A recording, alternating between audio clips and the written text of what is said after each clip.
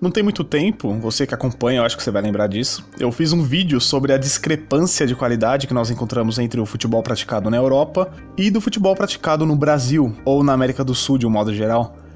E eu fiz esse vídeo meio sem tantas pretensões assim de alcançar um bom público, já que meu canal não tem nada que ver com futebol, embora o futebol seja uma coisa que eu goste bastante.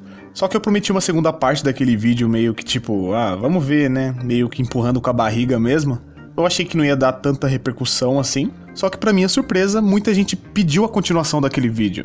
Muita gente gostou daquele vídeo, da análise que eu fiz naquele vídeo. Então eu vou pedir para você que tá assistindo esse vídeo aqui que você corra naquele vídeo lá para você depois entender isso daqui, beleza?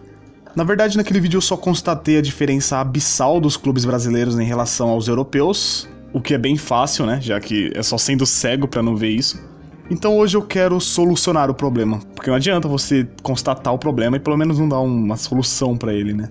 Por que razão os clubes do país do futebol são tão fracos, pelo menos se comparados aos bilionários europeus?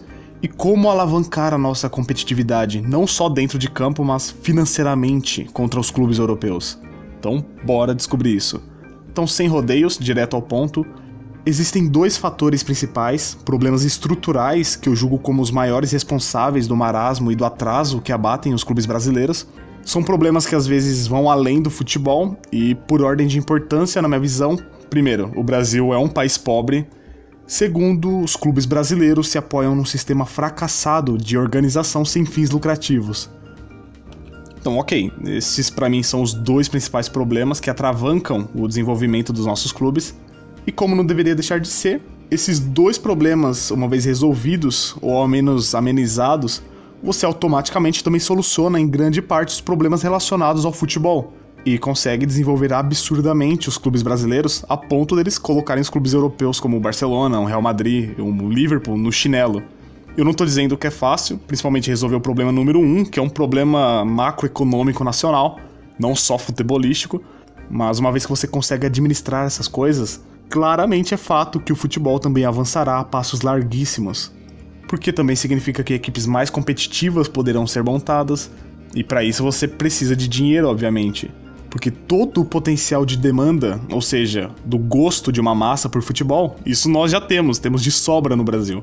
O futebol dá de lavada em qualquer outro esporte no Brasil, no quesito preferência do povo brasileiro. E conforme eu vou destrinchar logo a seguir, todo o impasse acerca da qualidade vista dentro de campo passa por um ponto de vista primeiramente financeiro e só depois estrutural. Como todo mundo sabe, o Brasil não é um país desenvolvido economicamente, como eu disse no fator número 1, um, e eu nem preciso trazer aqueles dados que tá todo mundo já cansado de saber sobre o PIB per capita, a facilidade de fazer negócios, renda média e liberdade de mercado, porque é óbvio que o Brasil carece de resultados satisfatórios em qualquer índice econômico possível. Mas no que isso implica? É bem simples e com fatos da realidade fica tudo ainda mais claro, né? Talvez muitos dirão que não importa se um clube tem ou não dinheiro, se um país é ou não rico, o que importa é se a paixão nacional gira em torno do futebol. Daí nós temos o nascimento de equipes competitivas com torcidas apaixonadas que levam o clube ao êxito. Isso não necessariamente é uma mentira, até pela lei de oferta e demanda, porque se você tem uma demanda por futebol, obviamente você tem um mercado futebolístico grande, com pessoas querendo lucrar nesse mercado, mesmo em um país pobre, e isso também implica na qualidade vista dentro de campo. Porém, sem dinheiro, você não contrata jogador top de linha, nem paga o salário dele. Sem dinheiro você não constrói estádios majestosos, e sem dinheiro você não consegue organizar a logística necessária de um campeonato. E a menos que a paixão fale mais alto, é o dinheiro que determina se você vai ter e principalmente manter craques como o Messi, um Cristiano Ronaldo da vida, um Mbappé, por exemplo. Mas agora quando você vive em um país pobre como o nosso, isso também reflete no futebol, porque por mais que nós amemos de paixão o futebol, e esse seja um mercado lucrativo para investidores e patrocinadores em um país como o nosso, você não consegue nem de perto bater de frente com a Europa. Que além de ter países tão ou até mais apaixonados por futebol do que nós, eles são ricos, essa é a diferença. Eles têm um PIB per capita 5 ou 6 vezes maior que o nosso, e claramente isso reflete no mercado da bola. Nossa, parece meio brega, né? Falar mercado da bola. Então, é uma coisa meio antiga. Só que no mercado da bola europeu, são onde as transações milionárias em euros são feitas, onde os clubes são estruturalmente infinitamente superiores aos nossos. Os clubes têm muito mais recursos e luxo e atraem com razão excelentes jogadores de todas as partes do mundo. E essa é a razão pela qual nossas joias reveladas na base são vendidos muito cedo, muito jovens. Porque as ofertas vindas dos europeus são irrecusáveis. O dinheiro fala mais alto, e o glamour de se jogar em um campeonato como a Champions League, um campeonato riquíssimo, de vestir a camisa de um Real Madrid que sempre teve muito dinheiro, sempre foi favorito aos títulos que disputava, fazendo história com times memoráveis, parece tão mais irrecusável ainda. Agora eu quero que você veja os seguintes fenômenos: o futebol na China e o futebol nos Estados Unidos. A China é um país que até pouco tempo pouquíssimo se interessava pelo futebol, nada se interessava praticamente. Mesma coisa com os Estados Unidos. China e Estados Unidos formam os dois países com o maior PIB do planeta. Porém, eles nunca foram nem de perto um dos maiores mercados de futebol do mundo, justamente porque o futebol não era de interesse público nesses países. Então, por que um investidor iria derramar grana no mercado não tão lucrativo, com pouca demanda? Só que a partir do momento que eles passaram a se interessar por esse esporte, veja, muitos jogadores consagrados do futebol foram roubados do futebol europeu pela China ou pelos Estados Unidos. E quando eu digo roubados, eu não digo somente que eles foram tirados diretamente de clubes europeus e desembarcaram para jogar na China, mas também ótimos jogadores africanos ou sul-americanos que naturalmente iriam para clubes europeus, eles foram atravessados por clubes chineses e americanos que já são um mercado muito interessante de futebol e crescendo bastante nos últimos anos mesmo que o futebol ainda não seja a paixão nacional desses países, ainda. Porque o crescimento do interesse por futebol, tanto por parte dos chineses quanto por parte dos americanos, que já tem ligas bastante fortes e competitivas, é visível. E o Brasil só não fica tão para trás em relação aos Estados Unidos e à China no futebol, mesmo com uma economia bastante inferior, porque o futebol aqui é o nosso esporte número um, entendeu? Então o sucesso nessa ótica está claramente numa junção de riqueza de oferta que tem bastante nos Estados Unidos e na China, com uma forte demanda, que não tem tanto nos Estados Unidos e na China, mas tem no Brasil, mesmo, mesmo a gente não tendo tanto dinheiro quanto eles. Então, uma junção de riqueza de oferta com a demanda, isso gera investimentos.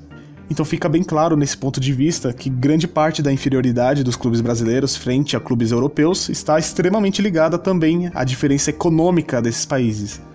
Porém, só isso não ajuda a entender toda a complexidade da coisa o problema da qualidade inferior de clubes brasileiros transcende o futebol, mas também está estruturalmente na forma como os clubes veem o futebol. O que faz com que a má gestão feita por presidentes e diretores dos clubes sejam não a causa do problema, mas antes a consequência do problema. E o problema é o sistema falido que praticamente todos os clubes do Brasil seguem. Para quem não sabe, todos os grandes clubes brasileiros, eu diria que 99% de todos os clubes profissionais de futebol brasileiros, são organizações sem fins lucrativos. E o que isso significa? Significa que os diretores de futebol dos clubes brasileiros, ou seja, os presidentes, conselheiros, todos os cartolas que têm algum tipo de poder administrativo em algum clube, eles não podem obter do lucro advindo das receitas do clube e nem negociar ações para atrair investidores interessados no negócio que é o futebol.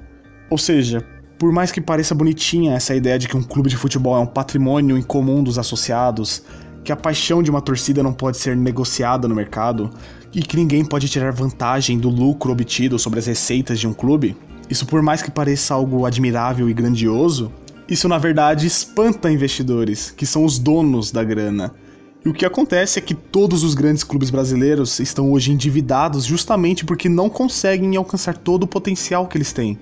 Porque o presidente do clube vai lá e faz um puta investimento hoje, endividando o clube, e que a conta história pro próximo que assumir. Ah, o que importa é que eu tô investindo aqui, que todo mundo vai gostar de mim, que eu tô trazendo os melhores jogadores, só que ninguém pensa na dívida, né, que vai estourar mais pra frente. Então imagina como um Flamengo, um Corinthians ou um São Paulo poderiam ser tão mais grandiosos no cenário mundial com suas torcidas colossais, se o dinheiro maciço de investidores pudesse ser aplicado nesse negócio. Quantos craques europeus poderiam vir jogar aqui? Por dinheiro mesmo, eu tô dizendo. Porque 90% dos grandes jogadores do mundo, eles vão para onde tem a melhor proposta. Então imagina quanta rivalidade nós poderíamos ter com os clubes europeus se nossos clubes fossem tão ricos quanto os deles. Só que não, isso parece uma utopia dadas as circunstâncias atuais.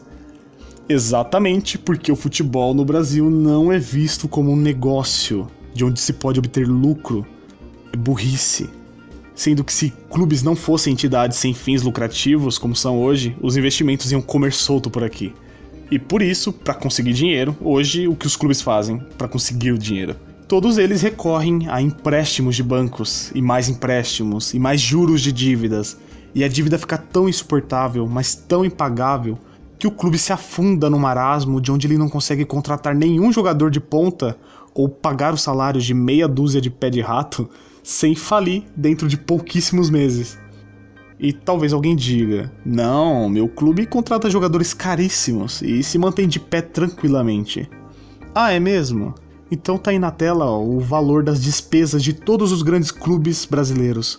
Poucos conseguem suprir as suas dívidas com a receita, que nós chamamos de superávit.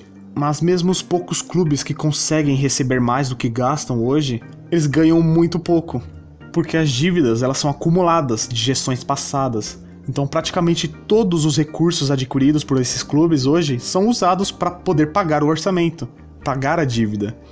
E adivinha de onde vem a maior fonte de receita da maioria dos clubes? Tempo. É isso mesmo, a venda de jovens promessas para o exterior. Então, como é que faz para melhorar a qualidade se nossos melhores jovens da base são vendidos para fora antes mesmo de completar 20 anos de idade e desenvolverem o seu futebol? Mas tirando alguns poucos casos de clubes que, através de boas gestões, conseguem fazer malabarismos para não se afundar em dívidas, grande parte dos clubes brasileiros estão em outra realidade. Eles estão em um claro processo de falência. Porque eles não conseguem pagar suas próprias despesas bancárias, salários de funcionários e jogadores, manutenção de CT e estádio, aqueles que têm o estádio, pagamento de impostos. Aí a salvação, obviamente, é quando se consegue revelar um Neymar da vida, um Vinícius Júnior da vida, e os clubes europeus crescem os olhos e compram esses jogadores por valores abissais. E como sempre formam grandes equipes, comprando jovens craques de outros continentes. Daí tá a diferença entre clubes brasileiros e europeus, o vigor financeiro. Mas a fim de solucionar em grande parte esse problema, existe uma forma muito simples de se fazer o futebol que ele realmente é.